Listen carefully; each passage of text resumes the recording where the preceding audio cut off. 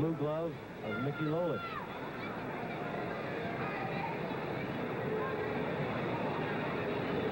Two one pitch to Rettenmund. Well bounded to Rodriguez. He has a great arm. Right on the down. Powerful arm on Hit sharply to shortstop Ed Brinkman. And the Orioles again are down one, two, three. At the end of an inning and a half, no score.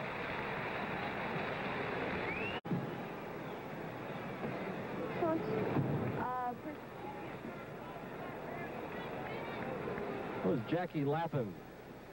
First gal reporter here with the press cars of the Detroit Free Press. Oh, Jata has a strike on him. Loops one out in the left. And that ball is off the glove. Don Baylor. Jata's in the second. Safe.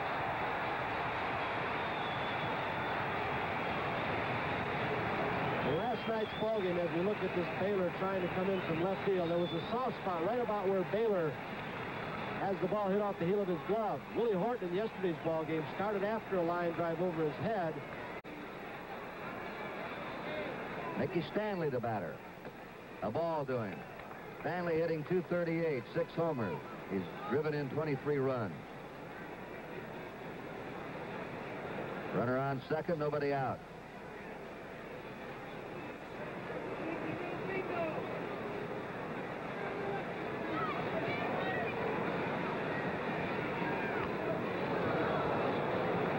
One ball, one strike.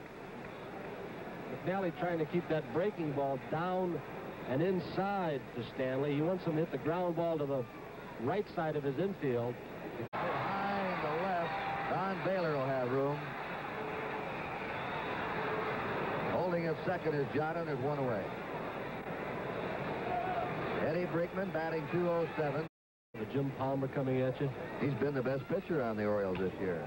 He broke his bat and pops it up to the right side. Paul Jata makes the squeeze, and there's one down. Mark Belanger, or Belanger, French would say.